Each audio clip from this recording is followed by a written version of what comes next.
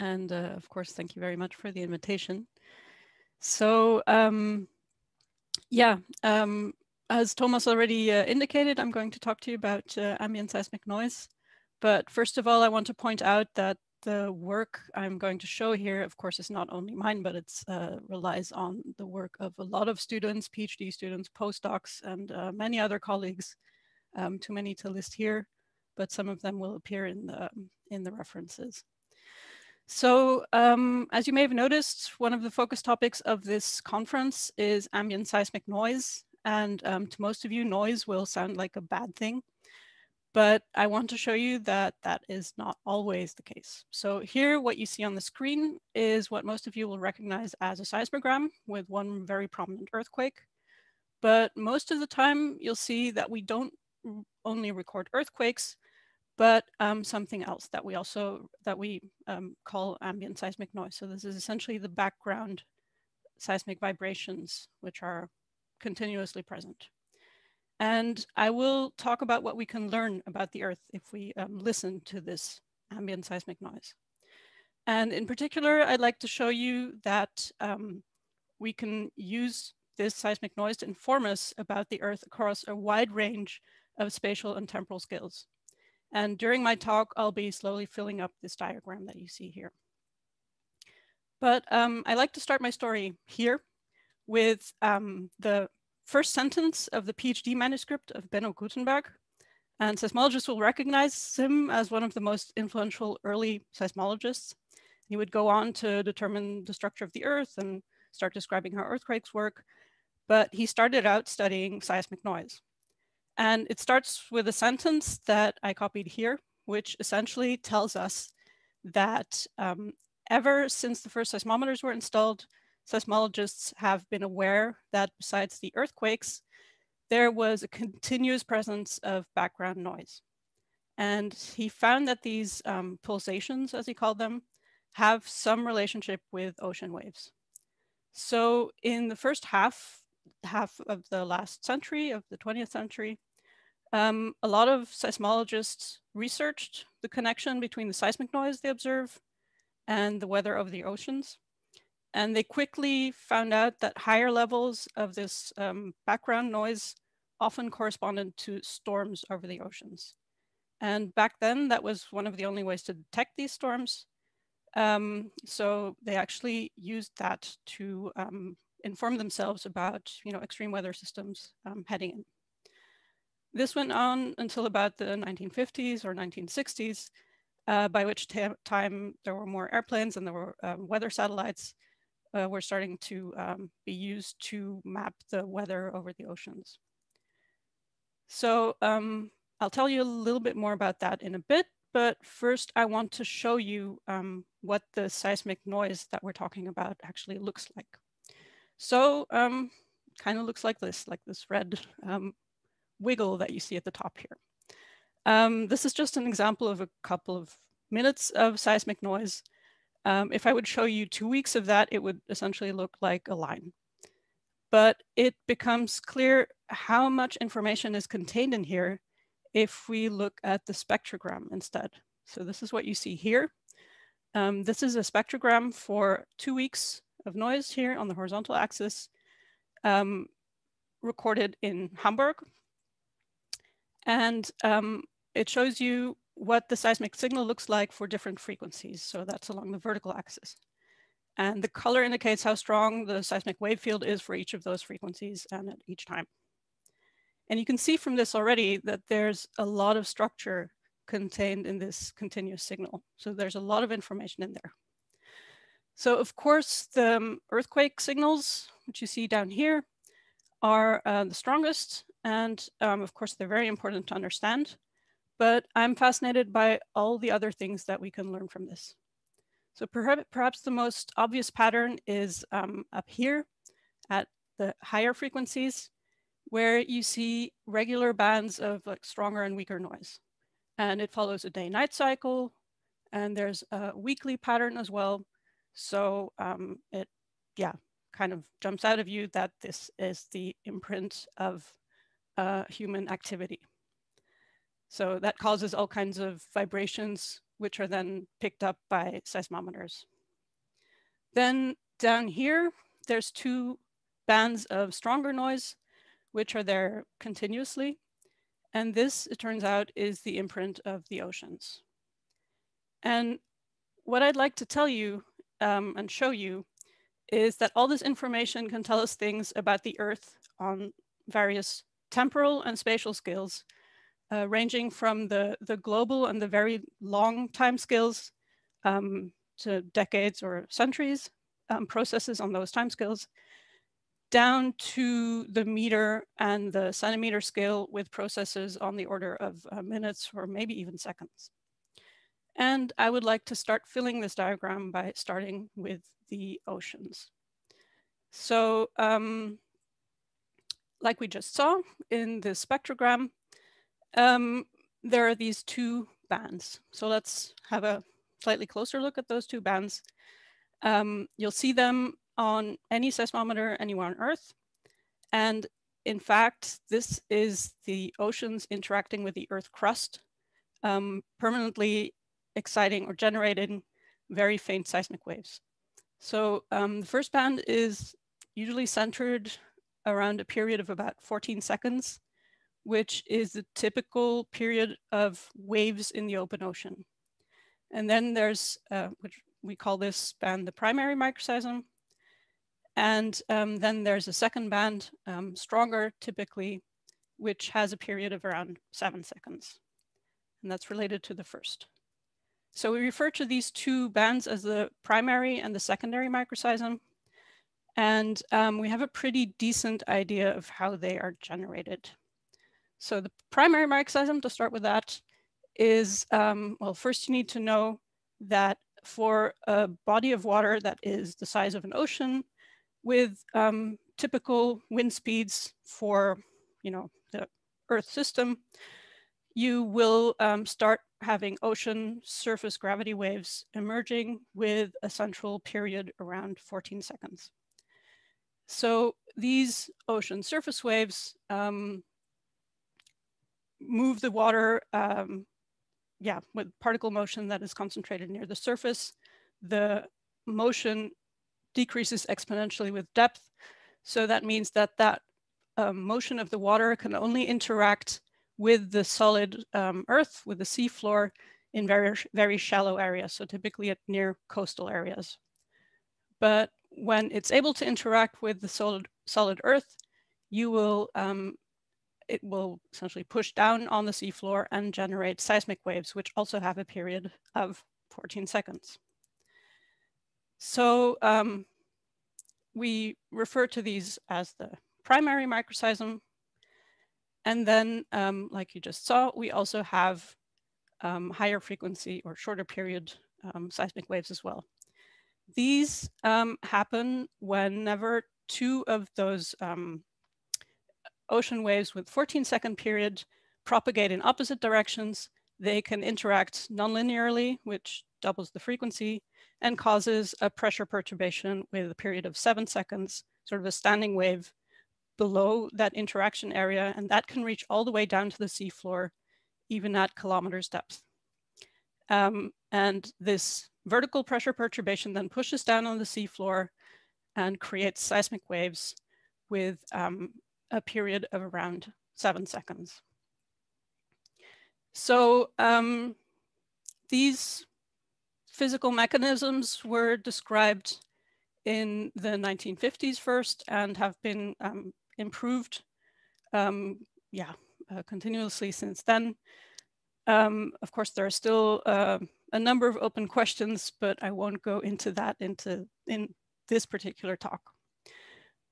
What I want to argue here is that, um, yeah, even though the seismologists um, way back in the day understood that there was a relationship between ocean wave and the seismic waves they observe, we now have a much better understanding of the physical mechanisms behind that ocean solid earth interaction. Um, so compared to the studies from the last century, we are now able to use satellite measurements of ocean waves um, and plug that into um, the ocean wave models that are based on our understanding of how seismic noise generation works. So um, that's illustrated here. That gives us an idea of where to expect um, regions where lots of seismic noise is generated. Then that can be compared to observations. So um, in contrary to the observations from the 1950s, uh, we now have much better data. We have um, better seismic sensors, um, more seismic sensors, and um, here you see an example of uh, a study by Carina Juretzek, where uh, we use several arrays across Europe to determine in um, which direction the main, the main noise sources are acting. So um, yeah, you can see here in these histograms, the direction towards main noise sources averaged over a year. Um, and this can be, yeah, this typically correlates with areas where there's a lot of this um, wave-wave interaction. So these uh, ocean waves interacting with each other. Of course, um, the reality is a little bit more complicated. The um, directions we find here don't correspond exactly to what the models predict. And um, our observations are now at such a level that we can feed back that information um, back to the oceanographers so that they can improve their ocean wave models and provide us with uh, better estimates. So um, with this, um, we've seen that we can use seismic noise to learn something about how the oceans behave. Um, and I'd like to move to slightly smaller scales now. So um, in particular, I want to uh, highlight a study that we recently did um, together with, um, uh, in collaboration with Kiel where we focused on marginal seas instead of the open ocean. So in this case, the North Sea. Um, smaller bodies of water typically host shorter period ocean waves and therefore also generate um, shorter period um, seismic noise, so higher frequency seismic noise. And um, in this study, um, Dirk Becker actually analyzed seismic data recorded at the island of Helgoland, um, in the German part of the North Sea. And here is an example of uh, a spectrogram of the continuous broadband seismic station, um, what that recorded, with again frequency on the vertical axis and about a month and a half um, of time on the horizontal axis. So again, the color, um, brighter yellow color indicates stronger um, noise at those frequencies. So remember that um, at periods of 14 and 7 seconds, we had this primary and secondary microseism generated in the, the larger oceans. Um, but since we have shorter period sea waves in the North Sea, those also generate seismic waves with shorter periods. And that's indicated here by the, the red box. So this is the local microseism, and it can be, can be detected when we have um, significant wave activity in the North Sea. So here's an example from an ocean uh, model from WaveWatch 3, um, where we see that there is actually um, seismic noise generation in the North Sea area as well as in the North Atlantic. Um, if you would look into the period of the ocean waves in that model, you would also indeed see that the period here uh, corresponds to um, seven second ocean wave periods, which would give us about three seconds um, secondary microseism. So um, that works quite nicely. And um, what is interesting is that the seismic noise associated with those local sea waves, sorry, um, the seismic noise associated with those local sea waves carry a lot of information about the the uh, wave period of the ocean waves, the direction of propagation, how they interact with the local bathymetry, etc. So that um, gives us a lot of incentive to study in detail what's actually going on in these variations of the, the local microseism here. Something else that we um, observed that's very interesting is that the strength of this local microseism is modulated by the tides and um, that's an effect that we don't understand completely yet, but it might indicate a generation mechanism that's linked to tidal currents that possibly interact with bathymetric futures. Um, so the fact that we don't really understand this observation yet definitely shows that there's still some open questions in the physical mechanisms of ocean solid earth interaction. So this study um, sort of formed a, a, nucleation point for a wider initiative to gain a better understanding of the wave interactions between atmosphere, ocean, and solid earth, and specifically in these marginal seas.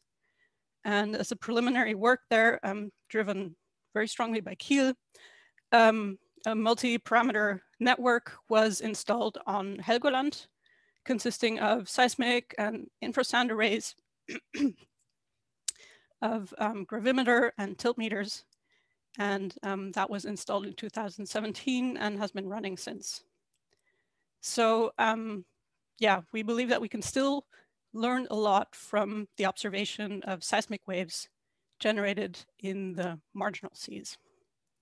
So that would give us information about processes on slightly smaller scales than oceanic scale. Um, right. So what about um, these larger spatial and time scales? So for that, we can have a look at storm systems again, which generate significantly stronger ocean waves and with that stronger seismic noise as well. Um, that seismic noise can be used to track the storms, to track the location of the storm as it evolves. And here is an example of a typhoon in the Pacific, which, um, which was observed by colleagues using uh, a seismic array in California here. So in blue, you see the, the track from meteorological data. Um, so essentially the known track of the storm. And then in red is the track that they found by looking at the seismic data, by um, using seismic P waves recorded at the, the collection of sensors here. Another example um, is shown here. This was done by um, Julian, one of my students, um, and it shows a hurricane in the Atlantic. So here we see the um, um, essentially the intensity of the expected noise source from ocean models. Um, and he recorded that hurricane at several, using several arrays in North America. And in red, um, you can see the um, range of directions where uh, he detected surface waves coming from that hurricane. So um, you can see that there's a reasonable match, even though there's a lot of other um, wave activity elsewhere in the North Atlantic. So Julian is presenting a poster about this work in uh, this afternoon, I believe, if you want to find out more. So, okay, these are just storms that happen once in a while. How can that help us gain information about long time scales? So for that, we need to step back a little bit um, and realize that we know, yeah, how the weather over the ocean affects ocean waves. And we have a pretty good idea how this in turn generates um, ambient seismic noise. And as we've seen, our understanding of the physical processes has improved and improves continually. So we can use the storm events to establish essentially something like a fingerprint of what a storm sounds like when it's heard by seismometers. Um, so if we're able to um, quantify how the coupling between atmosphere, ocean, and solid earth works in this way, we could also think about making it work the other way around. So um, turning these arrows around essentially. So as an input, we could use um, the thousands of old analog seismograms in several archives across Germany and also worldwide. Um, these are seismograms that were recorded by old seismographs, partially dating back to the start of the 20th century. So with that, we could um, potentially use old seismic records to improve the uh, records or statistics of the number of storms or hurricanes that occurred in the past century. And that would be very valuable for um, climate scientists. So of course, in this, there are still a lot of challenges to face uh, before we will be able to do this, but I think we're steadily moving towards this goal. So um, up to now, we've seen that by listening to ambient seismic noise, we can already find out quite a lot about processes that happen above the Earth's surface. And in the next part, I'd like to, to look um, below the Earth's surface. And for that, um, we're going to need to extract a different kind of signal from the seismic noise. In order to do that, um, we're going to use a method called ambient noise interferometry, which um, sort of came onto the stage a bit more than a decade ago. And um, yeah, essentially revolutionized uh, the way seismologists work. So how did this um, ambient noise interferometry work? Um, so first of all, let's step back and consider what we try to do in seismology. So in seismology, we typically um, look at earthquake signals. And why is that? It's because these signals can tell us something about the way an earthquake ruptured, about the way that the subsequent seismic waves traveled through the earth. And um, what you essentially do is you have um, some kind of source, let's say an earthquake that happens at point A, and you record it at point B. And assume that your source is um, something like a very simple delta pulse or an impulsive source. And the signal that you record in B will um, look something like this. So the shape of each of these wiggles tells you something about the different wave speeds that the wave encountered on its path. And um, it tells you about the elastic properties of the subsurface, whether it's hard or soft, uh, whether it's homogeneous or not. The problem with this is that you need some kind of source, so earthquakes or some source that you can generate yourself. And um, that is, of course, not always present. And what is always present? Seismic noise. So um, that's why we use this noise interferometry. The way that works is a bit technical, but the main point is that if you now have two sensors, two receivers at locations A and B, you can record the noise um, and sorry, and these receivers, uh, these sensors are surrounded by noise sources. You can record the um, seismic noise that both of these sensors record at any time. So the signals themselves won't look like much, but if you take a long enough time of the signal and cross-correlate between those two sensors, what you end up with is a cross-correlation signal that whose shape will look very much like um, the seismogram that you would expect for um, a source that was in location B that was recorded, uh, sorry, a source that was location A that was recorded at, lo at location B. Um, so it simply said, um, one side of the signal will look like there was an earthquake at station A that was recorded at B, and the other side looks as if you had an earthquake at um, location B that was recorded at location A. So in a way, using only records of seismic noise, we can create or extract um, something similar to seismograms from our data.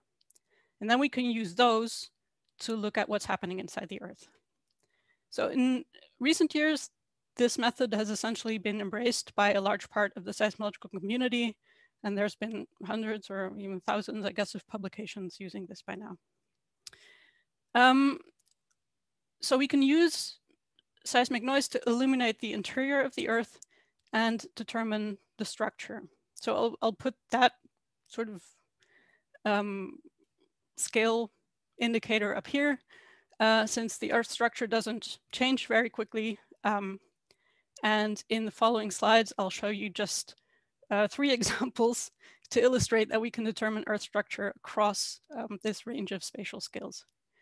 So first, um, we have a study that used uh, the very long period seismic waves to uh, investigate global structure.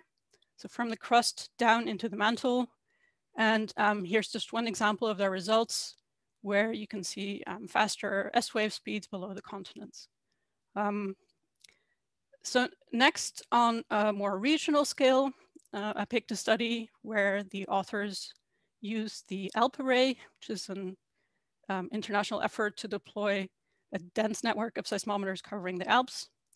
And here is an impression of the uh, depth of the MOHO discontinuity below the Alps. So this is imaged with um, ambient seismic noise. And finally, on um, very small scale or local scale, uh, this is about um, 10 by 15 kilometers, um, an area below um, the Ekofisk uh, oil field that was uh, again imaged using ambient seismic noise. And um, for example, here the red color corresponds to um, sort of densified sediments uh, that correspond to production of uh, production induced subsidence. So extremely quickly, these three examples by no, in no way um, cover what has been done. There's been uh, hundreds of such studies covering all kinds of locations and scales. But um, I just wanted to show you that we can go from essentially the kilometer scale to the global scale with this. So these examples assume that the Earth structure is static, but what about cases where the structure changes over time? Well, that's uh, another example of seismic noise. Um, it's always there, it's always present. So um, we can use it to investigate changes in structure. Um, so, okay. Remember that these wiggles essentially that we can extract from the noise represent um, the material that the seismic waves have passed through. So if that material changes over time, we can detect those changes with these signals. So um, essentially we, what we can do is we can extract these signals from our noise and then um, repeat that a couple of times. So we can, here very basic example, um, we can do it for one month and then compare it to the signal that we extract the next month. So if the material that these waves have passed through has changed in between, um, we would be able to measure that by comparing these two signals. So for example, in this case, if the seismic wave speed of the material has um, increased, if we have a faster seismic wave speed, the whole signal will look a little bit um, compressed. Um, okay, that's super basic explanation, but I want to illustrate the kind of measurements that we can do with um, this type of monitoring method. Um, and for that, I'd like to highlight a recent study that we did in Hamburg, where the aim was to track changes in material properties in the urban subsurface. So on the outskirts of Hamburg, um, we set up three seismometers in the field. And right next to them, um, here is a, a weather station and a measurement set up from the Institute of Soil Science in Hamburg, where they measure groundwater level, soil mo moisture content, um, soil temperature, and a couple of different things. Um, that provides us with the ground truth of what's actually going on in the soil. Next to the field where our seismometers are, we have um, a highway, um, we have a railroad, and we have a patch where um, essentially uh, people are digging gravel. And um, all of this produces a lot of vibrations um, and a lot of seismic background noise. So to a normal seismometer, this location would be a nightmare, but uh, we want to uh, use this seismic noise to illuminate the um, subsurface here. So um, we did that. The, the goal of the project was uh, to see if we can monitor uh, water content or soil moisture content and the effect of um, rain on the near surface. But uh, what we found instead is that we um, can actually monitor um, how much the soil is, is frozen. so what we did is we extracted um, signals by using this ambient noise interferometry with a time resolution of two hours. And then on those signals, which we extracted repeatedly, we measured uh, seismic wave speed changes.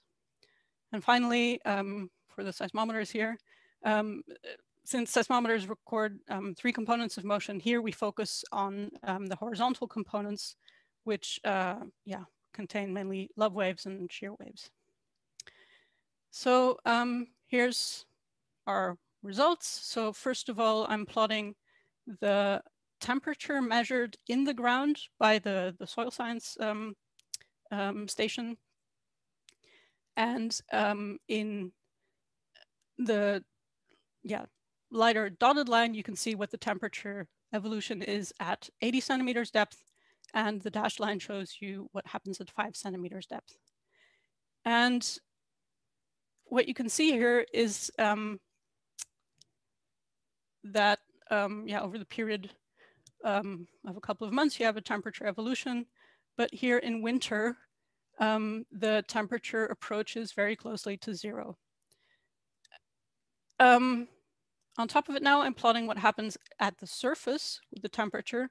And you can see that at the surface, there are um, a couple of times where the temperature dips below zero. So those are those times are indicated with the, the gray bars here. So what you can see is that the surface actually froze, but um, the five centimeter um, measurement point never dipped below zero. So that means that we have a frozen layer that is five centimeters or less. Now, um, what did we get with our seismic measurements? That will be overlaid now with the red line. So this is the change in seismic wave speed. Um, and you can see that at the times where the um, surface of the soil, so we had a thin ice layer, the seismic wave speed increases um, dramatically. What's interesting to note here is that um, we're using frequencies where the wavelength of our seismic waves is um, of the order of tens of meters. And even with those long wavelengths, we are still able to detect uh, an ice layer that is, um, yeah, a couple of centimeters thin. Um, this is pretty surprising. So we checked with a simple numerical test and um, I'm not going to show the results here. If you're interested, I can show them afterwards. But um, essentially the results that we see here fit with um, what the numerical test would, would lead us to expect. Um, so to summarize that, uh, we were able to use the seismic noise from um, the urban sources to track very small variations in seismic wave speed. And um, in particular, the shear waves turn out to be quite sensitive to frozen soil with a surprisingly high sensitivity even to very thin layers of ice, so much smaller than one wavelength. So this could be potentially very interesting for um, permafrost monitoring, for example. Um, so that would be an application area to, to explore. So, okay, that gives us the first example of studies where we can use the seismic noise to monitor changes associated to processes taking place below the surface. Um, I want to again quickly show a few examples of other studies that have looked at different temporal and spatial scales. So um, in particular, um, we can use these methods to investigate changes in the crust or associated with fault zones or with volcanoes. And here we have one example of the Piton de la Fournaise on uh, Ile de la Réunion, where um, Obermann and co-authors went uh, beyond detecting just um, seismic wave speed changes, and they detected um, very slight changes in structure of the volcano. So one of these red areas here corresponds um, to an ongoing eruption um, whereas the other one um, is associated with uh, an eruption which would only start a few days later. So um, again, these, these kind of um, setups can be used to um, design monitoring systems. Um, if we go back to the approximate scale we were, where we were earlier, uh, with monitoring the top tens of meters of subsurface, I'd like to show you an example of uh, a landslide in Peru, where um, right after a local earthquake, um, we, uh, well, they detect a sharp decrease in um, seismic wave speed here. Um, that's probably associated with the weakening of the, the landslide material, and it was followed by the onset of um, the landslide displacement. So again, this illustrates that these measurements could be used to set up um, monitoring systems. So although the red circle here um, now says landslides, similar observations have been reported for, for rock falls, for dams, dikes, um, glaciers, which uh, essentially led to um, the community coining the term, um, the, something that we're calling environmental seismology, uh, meaning that we can monitor um, yeah, changes associated with, um, yeah, I guess, envir environmental processes. Um, and lastly, at the very small scale, we're starting to apply these methods for structural health monitoring. So to monitor changes in buildings. And there, um, again, one short example of a study that we're doing in collaboration with BAM, with the Federal Institute for Materials uh, Research and Testing in Berlin. And together with one of our master students and a postdoc at BAM, we're using their uh, BLIBE structure, sorry. Um, this is a bridge-like test structure, which um, consists of pre-tensioned concrete, and the pre-tensioning of the structure can be varied. So what we did is we used the um, ambient seismic noise to measure seismic wave speed changes as the tension of that structure was slowly released. And ooh, come on, there you go. And what we saw is that the um, seismic wave speed um, decreases as the tension on the this bridge-like structure is slowly released. So with decreasing stress. So um, the observations there are probably associated with the stress changes and eventually with um, small cracks forming in the material. This is still ongoing work. Um, so with that, I've given only a handful of examples of the hundreds of studies that use um, ambient noise to monitor changes in the subsurface. And um, I hope with this that I've been able to show you that we can cover processes over a large range of spatial and temporal scales simply by exploiting the information that's contained in ambient seismic noise. So this can help us to look inside the Earth and as you recall, um, also look at interactions between the solid Earth and the ocean and atmosphere. Now, um, I'd like to finish with a very quick look forward to what the future is going to bring us. And um, what we're currently seeing is a very rapid development in seismic instrumentation. So for example, um, we're seeing the emergence of what we call large N arrays, um, which are very dense deployments of um, relatively inexpensive seismic sensors, um, where you put the sensors together on, yeah, um, several sensors per wavelength, essentially. And here's an example um, by um, work by my postdoc, Sven Schippkus, who um, recorded the ambient seismic uh, field um, using a large N deployment in the Vienna Basin. Um, so what you can see is that you get information about the seismic wave field in, in really high uh, spatial detail. Another pretty exciting development over the past couple of years is the use of um, telecommunication fibers, so-called um, distributed acoustic sensing, where uh, we can essentially turn um, unused telecommunication fibers into seismic sensors with extremely high spatial resolution. So essentially you can get one seismic um, sensor point, one seismic measurement point every four to 10 meters or so along a fiber. And this can be um, used on telecommunication fibers that are installed anyway, which are not being used. And here is an example from um, the group at uh, GFZ, where um, they used uh, a fiber along a road, I believe it is, uh, in Iceland. Um, and what, what is shown in the animation here is essentially the um, ocean noise. So the, the, these 15 second um, ocean generated seismic waves, which are passing along the fiber one by one.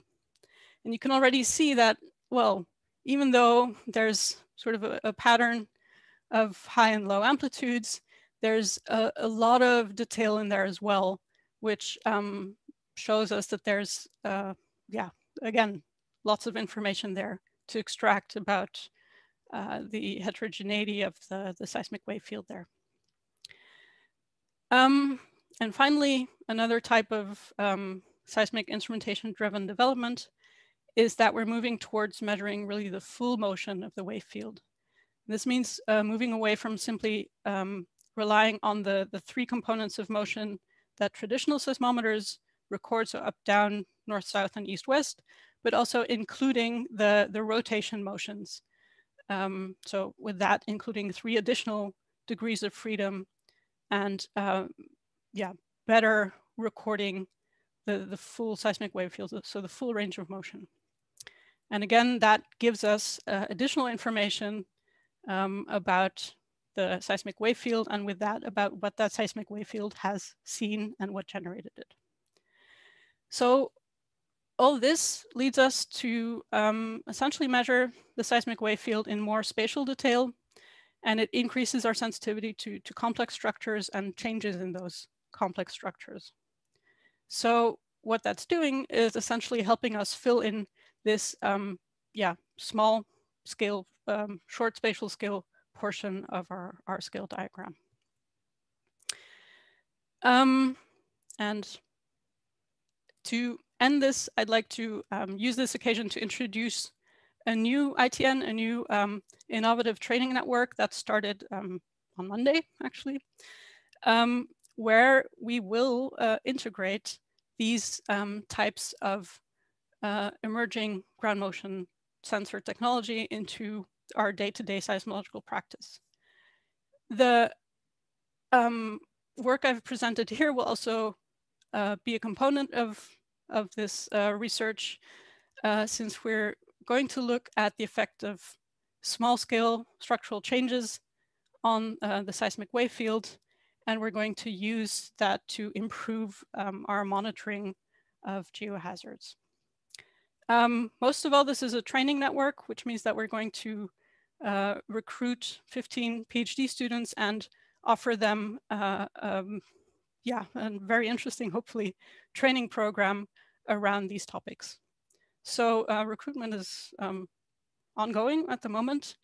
So if you are a master student interested in this, or if you know um, excellent master students, please point them our way. Um, you can find out more on our website, or if you're modern, you can uh, follow us on Twitter as well. So with that, um, I hope I convinced you to listen to the noise and um, I've shown you that um, ambient seismic noise actually surrounds us continuously as it's generated by um, the ocean's uh, meteorological phenomena, geophysical processes, and even us humans. Um, the noise carries the imprint of Earth properties, and that can be used to extract information about those um, properties across time and spatial scales. Um, and it can teach us about Earth processes, Earth structure, and changes in that structure. So with that, thank you very much. And I'll leave you with a conclusion slide.